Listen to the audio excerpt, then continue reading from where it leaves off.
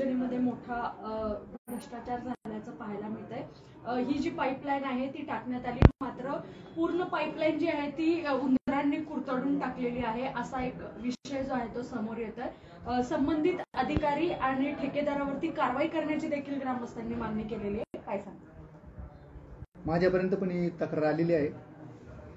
डावलीचे ग्रामपंचायत सदस्य त्यांनी माझ्याकडे तक्रार केलेली आहे. तर मी डेप्टी इंजिनियर ग्रामीण पाणी पुरवठा चाटे साहेब यांना सदर चौकशी करण्यास सांगितलेले. त्यांचं पण म्हणणं आहे जेव्हा पाईप बाहेर असतील किंवा जर पाईप वापरत नसतील तर गुंडाने वगैरे कुरतडले जाण्याची शक्यता असते तरी मी त्यांना म्हटलं तुम्ही स्वतः जाऊन चौकशी करा त्याचा अहवाल तात्काळ द्या. त्याच्यामध्ये जर इस्टिमेट प्रमाणे जर पाईप त्या ठिकाणी वापरले नसतील किंवा इस्टिमेट प्रमाणे जर काम झालेलं नसेल तर संबंधित ठेकेदार सुद्धा ब्लॅकलिस्ट करण्याची आपण सूचना देऊ. चौकशी अहवाल माझ्याकडे आल्यानंतर तत्काळ कारवाई करण्यात येईल.